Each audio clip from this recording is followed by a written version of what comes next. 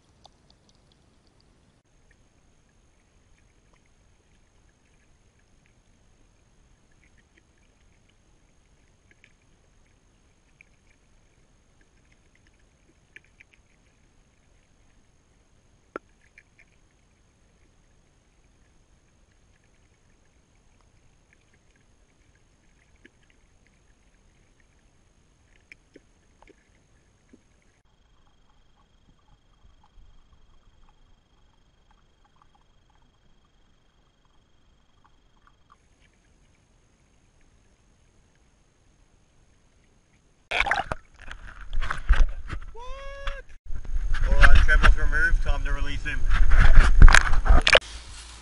Alright, now that our fish is almost done, we'll just slide it on over to where it's no longer heated.